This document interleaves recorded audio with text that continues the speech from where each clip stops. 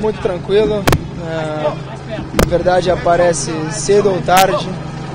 E o único desejo que eu tenho nesse momento agora é que, é que esse caso acabe o mais rápido possível. Obrigado aí, galera.